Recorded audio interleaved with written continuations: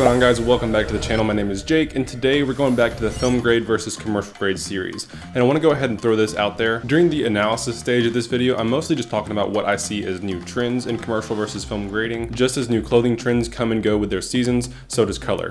Now color does take a little bit longer to move throughout that cycle, anywhere from just a few years to a few decades, but it is important as a colorist to be on top of these trends and stay up to date. So as you may notice in many of today's commercials, there's a smaller and smaller distinction between film grading and commercial grading. Now obviously you can't take a slap chop commercial and tell me it looks like Blade Runner, but you could take a look at this Acura commercial and say it's reminiscent of something like Ford v Ferrari. The margin between film grading and commercial grading is ever decreasing, but there are still a lot of nuances and that's exactly what I want to cover today, specifically in the car realm. Ever wonder how to turn your SDR grade to HDR? In addition to that, this free webinar includes proper workflow to using Hollywood's most used film print emulation, custom techniques to stress testing your LUTs, future-proof LUTs for HDR and ACES workflows.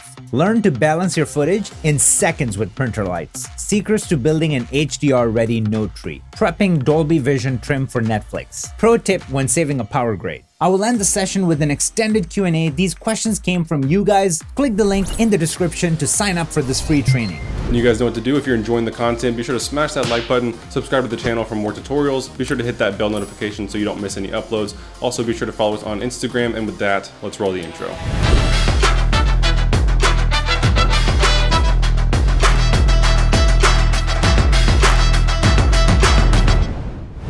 So jumping right in today, we're looking at commercial grading versus film grading, and there's never one process, there's never one size fits all, uh, but I do want to get a little bit into the theory of commercial versus film grading here, uh, specifically in the car world. Originally, the goal was to create an image that's as poppy as possible. Uh, this commercial here is a pretty good example of that. You see the whites are almost just completely blown out, all sitting right at about 100, um, and it's just as much contrast as we can throw in as possible. We want the bright highlights to be almost completely white and the blacks to be almost completely black. Uh, we want to push that and stretch this image as much as we possibly can.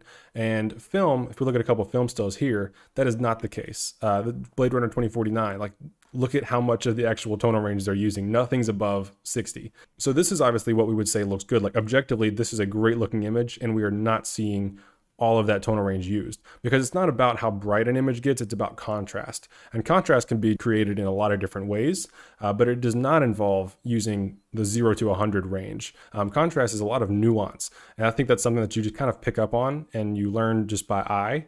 Uh, just as you grade hundreds and thousands and tens of thousands of shots. And that's something that not everybody starts off good at. So if you're not there yet, don't feel bad. You just have to not be good for a little while. I think that's part of the process. There was a, when I was doing a lot of photography, uh, one of the quotes that I had to keep reminding myself of was that in order to take good pictures, you have to take tens of thousands of bad pictures. And it's kind of the same with grading. Whenever you jump into grading, especially if you're new to the concept as a whole, you aren't going to be great at first. In order to create beautiful grades, you have to start off making pretty bad grades. Chances are, unless you have some kind of crazy leg up, your first grades are not going to be that great and you're probably going to be embarrassed by them in six months. And that's a good sign. That means you're growing, you're improving. But back to the topic at hand here, um, just on the tonal range thing, we rarely see a large part of the image stretch from you know 100% white to all the way to zero black. So comparing this modern film look with this shot, maybe from Nissan, I mean, we see a very strong difference in the approach. But the lines are starting to blur a little bit. And if we look at this ad from Acura, this is a lot more similar. If you look at the scopes particularly, it's a lot more similar to what we would see in today's uh, modern films, with the exception of the specular highlights. In this shot here from Blade Runner, uh, the, the widest parts of the image, they're still, you know, below 100, uh, around, around 84 and that's going to be like the brightest part of the image. Whereas this shot here, most of everything's sitting below 60, uh, but the specular highlights, if I could scroll over the, the headlights here, for example, they are absolutely right up there at 100. Same thing with a logo, just using those specular highlights to stretch the image and take full advantage of the tonal range. So it's kind of become less of stretching everything to from the bottom to the top, and it's become more about giving it more of a film look, but using the specular highlights to stretch those to the top. So with that in mind, we're gonna look at commercial versus film grading with this shot here and we're going to build a quick film grade and then a quick commercial grade. And all of it is going to be strictly taking advantage of the, the ideology behind film versus commercial grading. Uh, none of this is going to be something you have to follow you know, step by step. I'm going to be using a, a number of tools to build the looks, uh, but it's all about the theory behind it. It's all about the approach, not so much about the execution, because there's a billion different ways to actually execute what I'm going to be doing. But I just want to show you what I'm looking at, what my eye is drawn to when I'm doing those two different tasks. Because when I'm grading a commercial, I'm looking at different areas of the image. I'm focusing on bringing out different parts of the image. When I'm working on a film, there's totally different goals. I'm telling a story that's very different from the story I'm telling when I'm selling a product uh, in the color suite that is. So to get started, I'm gonna close down Resolve, change the scaling settings so it's easier for you all to see, and we're gonna go from there. All right, so getting started, we're actually gonna do our commercial look first, and then we'll do our film look. And I'm actually going to use a new plugin that I've been experimenting with, and I've been a really big fan of it. Also, I think pretty soon, uh, Qazi did secure a little bit of a discount, so be on the lookout for that. We'll be announcing anything here very soon. Uh, but Look Designer is from Color Lab AI. If you're interested, I really recommend checking out and experimenting with it. Uh, it's been very useful for me. You can use it in a number of ways. And and today we're going to be using it to do our color space transform, our color management, and we're also going to be using it to apply both our commercial and our film grade. Both looks are going to be derived from the same kind of look, but we're going to be doing some work in the commercial grade that will be omitted in the film grade, um, and we'll you know make some changes that are a little more specific to a film look that I want to apply. So when you drag on Look Designer onto a node, it starts off in the RLogC profile, but we're going to go ahead and switch this to uh, the red profile that it's actually shot in, which is Legacy and Dragon 2 Red Log Film. And whenever we select that, which is our input profile, essentially an IDT, uh, that gives us a proper conversion, and our output is Rec 709, and that's going to match our timeline settings. Now you notice over here, this plugin allows you to do a whole lot, and it also handles the proper order of operations for you within this. But what I really like using this plugin for is all the film emulation, uh, the different negative film emulations and the positive stock options that you have. So to start off, we're going to go into our negative options and we're going to select the negative that this would have been shot on. I'm going to use the negative stock Gen 2, which is the method. Uh, there's a few different negative options on here. And then for the actual stock we wanted to have it shot on or emulated that it was shot on, I'm going to go with Agfa XTR 250. I have been leading a lot into the Agfa stocks lately, uh, as opposed to the Fujifilm or Kodak, uh, at least for my negatives. So you can select uh, the 5219, which you'll also see a lot of, and you can increase that intensity there to 100. And so now you see the Kodak 5219 negative, uh, but I really do enjoy the Agfa. So that's where we're going to start. And then we're going to go into our print options. This would be the positive, And we're going to select Kodak 2383 because I still think it's one of the best. And then for our, uh, that's our contrast option. And then for the print stock, we're also going to choose uh, 2383 modern. So now you have more controls over the way that these two interact with each other. And we can increase that contrast there. I'm going to leave this right about here. And my goal here is to give it kind of a push look, but it's going to be more clean than the, uh, the, the film grade that we do. We're just working on the commercial grade right now. And so this is handling a lot already. That's just setting our negative options and our positive options uh, for a little bit of a film print emulation. So here's before and here's after. We can bypass our negative and positive options here. So here's the negative print LUT, and then here's the positive print LUT. Now for the commercial look, what I would really want to focus on is making sure that this car stands out. And that's going to be done through a series of windows, as well as some adjustments made to the hues. And I'm going to do all of that prior to this. Essentially, it's a CST right here. So we'll go ahead and label this node LD for look designer. And now I'm going to add a node prior. You can do that with Shift S. And this first one, we're going to start working on some of the hues. And I want to make sure that this car stands out. So let's go ahead, Let's give ourselves a little more room here. And I want to use the color warper to manipulate my hues here because it's going to give me a little bit more finesse and pushing these colors around. Uh, and also just a few options that you can't quite achieve with your hue versus curves. So first thing I'm going to take my center point here. I want to cool everything off just a little bit.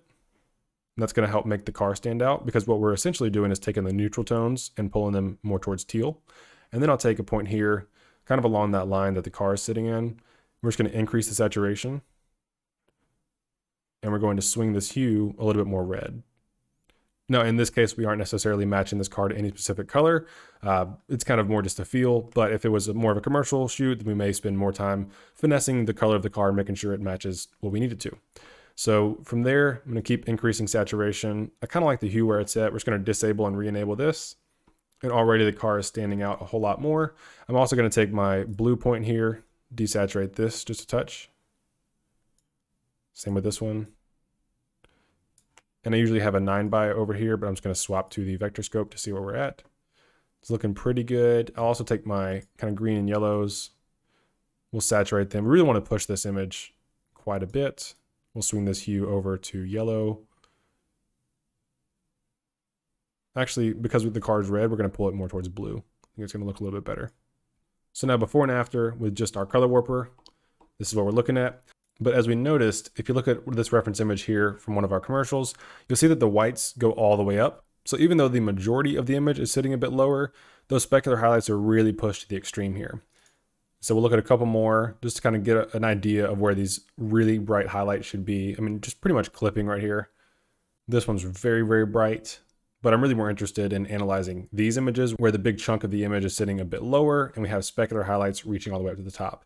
Now, if we look at some of the film stills that we grabbed, all of the image is sitting lower. And this also goes back to the whole contrast conversation. It's not so much of how bright is your brightest part of your image and how dark is the darkest part. It's more about the, the fine-tuned contrast that we're building. So we can, for the most part, keep the contrast we have here because this is a good looking contrast. It looks great, but we can still push the top range, uh, the top end of that image up to be a little bit higher and get closer to this 100 mark. So the way we're going to do that, very simple. After our hue adjustments, we're going to add a serial node and we're going to go into our log wheels and we're to set our high range. We're to bring this, actually we're going to leave it as is right now. First, we're just to start pulling these highlights up and see what we're grabbing.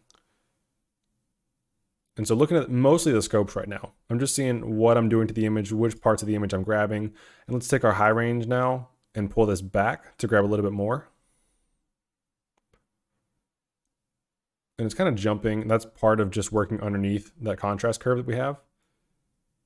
But right about here, I'm liking what that's doing for the most part. So if we disable this, you'll see we're really bringing those highlights up in the bottom right corner by the scopes. And then if you look at the actual image, of course, you see the same things happening there and we're starting to get more pop. I think I'm actually gonna bring it down to around 0.45. That's pretty good. I think we're getting a lot more contrast here in the actual cars details, those, those highs and lows. We're really separating those and I really like what's happening there. So now we've got some great push and pull with the colors and the car standing out. Uh, we can still do a little bit more just in terms of windows and, and, shaping this light. And of course, we could spend days just refining the look of the car. Uh, but let's just go ahead and, and, add a couple parallel nodes. And here we're going to throw in a couple of OFX that are just going to help our car stand out because we're doing a commercial grade here. And then we're also going to add in a few windows to help focus your eye on where to go. So first thing I'm going to do is just bring a window around the car. And we're going to be sure we feather this and kind of mimic the shape of the car.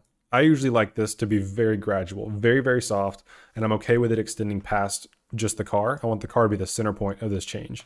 So I'm going to go ahead and invert this window, and we're going to make a slight vignette. I'm just going to pull everything outside of the car down a little bit. And actually, let's let's center this curve we're introducing a little bit lower. Right around here. So now we're just going to create an outside node. There we have it. And now we're operating inside of that window. And what I'm going to do here is add just a touch of gain kind of to the, to the upper mids. And then we're going to counter that by pulling down in our lower mids. And now after disabling and re-enabling, it's a little bit strong. What I'm actually going to do is link all the channels so we're affecting the color information as well.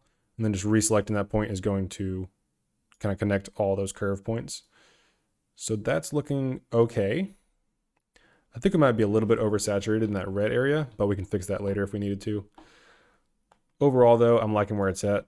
So now before and after both of these windows, it just brings a little bit more attention to the to the car. And then we'll also add a little bit of a gradient window from the bottom here. Gonna be coming up from this right corner. And we'll just do the Y and we'll just bring this down slightly. And it's okay to make these ridiculously strong in a commercial. Um, you don't really have a whole lot of time to analyze if something looks 100% realistic. It's more about how can you shape the light to make the eyes go where you need them to go for that, you know, three frames of that shot's going to be present on screen. Um, so this is okay. So that's not looking too bad. It's definitely punchy. We'll probably do a little bit more selective saturation here in node 5. Where I don't think we're actually going to need node 6, and we're just going to add an extra node after our look designer node, and we're just going to add some sharpening because that's kind of important uh, in a commercial like this. You want to show off those curves, those contours, uh, and make sure all the edges are nice and sharp. All right, so now here that selective saturation I was talking about, I want to go into our curves in our hue versus sat, and we're just going to pull down this red a touch, where it's still popping off the screen, but it's not clipping. We'll pull up our vector scope here as well. And right around here, I know I did some work in the color warper earlier, but now we're going to be doing it in hue versus. So it's kind of like complementing and stacking those two changes. So here I'm just going to kind of keep an eye on our vector scope and I'm going to make this a little bit larger for you to see. Because what I want to do is start to unify the colors of the car here.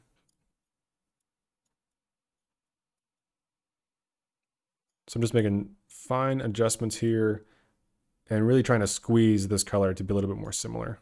I think right there is going to do. So if we disable that, mainly looking at the vector scope, we're just kind of unifying all those different reds to make them more restricted. So from here, we probably just need to track this window as it's a moving shot. It's not gonna move too much. So now in playback, everything's looking good. We've got that very poppy image mostly coming off the screen. So let me go ahead and label these. This is gonna be our highlights adjustments. It's gonna be our vignette. This will be our outside, our floor, which is obviously not a floor, it's a ground, but I call it a floor node. And then we'll have this one, which is just our hue node. So from here, at this point, if we needed to make exposure adjustments, those would need to come first. So if we needed to kind of give our shadows a little bit of a boost, we can do that with our lift, gamma, and gain here in the first node. So now we're just bringing things up a little bit, and then the entire image is being run through this pipeline. So everything is still gonna hold up quite nicely. So let's kind of split the difference with this change here, go into our keyer, and then for the key output, 0.5, kind of splitting that difference. And now we have this image and we play through. It looks nice. Still looks very filmic, but it's also geared towards being a commercial. We've got those stretched out highlights. Most of the image is sitting pretty low. And to me, it looks nice. It really calls a lot of attention to the car. And so now we'll go ahead and save this version and this will be our commercial grade. Now we'll go ahead and start working on our film grade. So I'm actually just gonna go ahead and delete everything here except for the look designer node. Relink this. And now I'm gonna have a slightly different process here. We're going to add a couple nodes prior. So for the film grade, I want to keep things a little bit simpler. Uh, we're not going to be doing as much work to make sure that the car's color is unified because that doesn't matter so much. We want that to feel authentic to the film characteristics we're trying to emulate. And we also don't necessarily need to create as many windows uh, to draw as much attention to the car because the shot's likely going to be on screen longer. Uh, obviously, if you look at the average duration of a cut in a commercial, it's much, much shorter than that of a film. So we don't have to be as extreme with the windows we're creating. But we'll go back to this first frame, kind of this hero frame, keeping in mind that it does end up getting a little bit darker here. And what I want to do here is start to push the image a little bit further because I do want to bring up some of those upper mids, those highlights, but not so much like the, the commercial grade. So we're just going to go into our primaries wheels and our gain. It's going to bring up our gain and then come down on our gamma. And we'll get that to a nice point and then we'll come up in our lift. And we can also go back into our look designer node. Go ahead and label this first one LGG and then we can actually go into our look designer node. And I think it's just a little bit too saturated. If you looked at our film stills, none of these are super, super saturated. They're all somewhat muted. And so that looks pretty good. That's kind of a characteristic of film. So we're going to go back here and our look designer node. So if you scroll down, you actually have an option for post processing. We're going to go ahead and enable that, leave it as FPE, and then we're going to increase the intensity here. Right around 0.4, 0.5. And then we're going to do some work in the subtractive color model. And we're going to increase some cyan, and one thing to note is that as you are making changes here in the CMY, uh, the cyan, magenta, and yellow, you're also adjusting exposure. So keep that in mind. Just gonna start to balance this out give that car some red, and then also increase on the yellow. And so if we bypass this, you'll see the change we made here. I'm liking that. And you'll see I'm kind of like bouncing back and forth between the, the overall palette I'm giving it. Uh, but I do like this as is making a few more tweaks to that FPE post-processing, making sure that's still where I want it. And that's not too bad right there. We're just gonna go also to overall saturation and pull this back a touch. So now I have a third node here, and this one's just gonna be called curves. We're gonna go into our hue curves as well as our RGB curves. Starting off in hue versus hue, I'm just gonna give these yellows a little bit more red. Move this one over and make sure our greens are staying green by giving it a new anchor closer to yellow. And then we'll go into hue versus sat. We'll pull this up. Just give that car a little bit more saturation. And now we'll hop over into the custom curves. And here I'm gonna go into my blue curve and we're just gonna take this top point and start to pull it down a little bit. And then we'll kind of cancel that out from the midtones and below. So now before and after here, not a whole lot happening, but we're giving a little bit less neutrality to the upper mids. You can see that in the white stripes here, and then also in the upper mids of the skies right there. So now after our look designer node, we're gonna go ahead and add a serial node, and we're gonna add our grain. And honestly, this could be it for the film look. They don't actually have to be that much different. We'll go ahead and select 16 millimeter 500T. No particular reason, I just think it looks the best uh, as a starting point. It helps get me to where I think looks the best quicker. Increase that strength. And then we could also soften the image if we really wanted to go for some more film emulation. But overall, just looking at this image here, I mean, I like this playing through. And for the most part, I mean, this is gonna hold up very well because all the changes are pretty mathematical. We're not doing a lot of manipulation just with curves and, and tools that are you know, extraneous and unnecessary. And so if we go back to the commercial grade, You'll see the difference here. And now you're also seeing how strong, uh, one, the sharpening is, and then how strong that, that side window from the side is. You know, going back, I'd probably make some more changes to that. But as we're just flying through this tutorial and I'm explaining things as I'm doing them, uh, you know, it works there for now. So anyways, the main difference is is the exposure, the contrast that we've built, uh, and just the overall mood. This feels more harsh and in your face, and then this feels a little bit more relaxed and a little bit more reserved and more natural. So hopping back out of this, let's go ahead and walk through the changes we've made on each shot. And we'll start with the film grade and we'll go back to the commercial grade. But, we're going to go in order of our operations here. So we started off with the look designer, and this handles a whole lot. I won't even walk you back through all the parameters, but essentially it works as our CST, you know, our color space transform from the camera space. It includes the output transform, and then we're also doing some film emulation inside of that. We're assigning it the film negatives to emulate as well as the positives, and continuing to make a few other changes based on the CMYK subtractive color model, as well as some post-processing effects. We've also got our LGG to make some changes to our lift, gamma, and gain in terms of overall exposure. Lastly, we have our curves. Overall, very simple, and we finish up with grain. So not a whole lot of steps to achieve this, but what we've done is we've just left it all more natural. We've let the Look Designer plugin do most of the work. Film Convert is another similar option where you're just, you're leaving a lot of the look development to your creative discretion and how you combine certain inputs and outputs and certain negative film emulations and positive film emulations, the way you combine those. And of course, that's going to lead to a slightly more filmic result. But the, the trick is whenever you're doing a commercial that's also supposed to have somewhat of a filmic look, how do we keep it filmic but leave it more commercialized and in your face. Um, and that usually comes from exposure, shaping light, and pulling out fine details of a car, for example. And so that's exactly what we've done here. So we'll go ahead and disable everything again, and we'll walk through one by one, just step by step. And again, we start off with the look designer node, and this does a whole lot here. Not much different from the film look, but we go much further here, of course. We start working with our highlights to pull them up and really make them pop. So here's before and after on our highlights node. You see what that's doing to the tail lights, the stripes, the highlights of the car compared to the shadows. We're leaving them as is. We're maintaining that natural contrast, but bringing up almost just our specular highlights. And then we have our hue adjustments, which this does a whole lot here, mostly using the color warper, taking our neutral tones, shifting them to be more cool, and then aligning some of the hues of the car that we know we're going to refine later, and also swinging the colors of our uh, foliage to be a little more blue-green as opposed to yellow-green, so it competes less with the car, helps the car stand out a little bit more. And then we do our vignettes here, where we just add a vignette around the car, and then we make our car pop out a little bit more by adding some more contrast to that inside node. And then we have this excessive floor node uh, that's kind of meant to be a hyperbole. I don't usually keep them this strong, um, but just as an example, you can use those gradient windows to kind of kill certain areas that are a little bit distracting. So that's very handy. And then lastly, we have the hue node, and this is mostly just our hue versus curve to align the hues of the car uh, and desaturate them slightly because they were a little bit too hot. And then our first node, we've kind of got this exposure adjustment that just brightens things up a little bit and pulls up those shadows a touch overall. And then we finish it off with a little bit of sharpening. That's actually probably way too strong. I think I was just exaggerating uh, the actual change I'd be making there, but we can leave it here and uh, that's not too, too bad. So now let's go ahead and check out both final looks.